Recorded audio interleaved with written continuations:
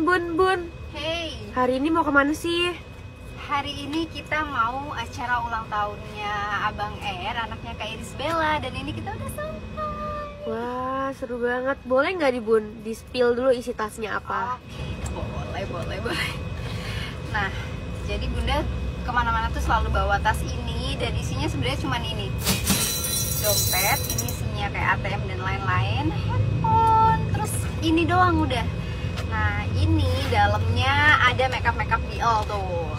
Ada apa nih, three way cake Terus ada maskara Ada nih apa nih? Hmm, aduh aduh ini jatuh. Sunscreen karena udah mau habis jadi ngambil lagi. Terus ada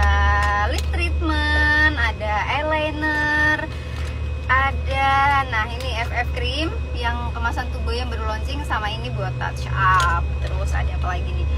Ada lip matte uh, LM02 dan LM04 terus kayaknya aku ada lagi deh. Nah ini yang mau launching ini masih coming soon ya. Ini buat ombre best banget.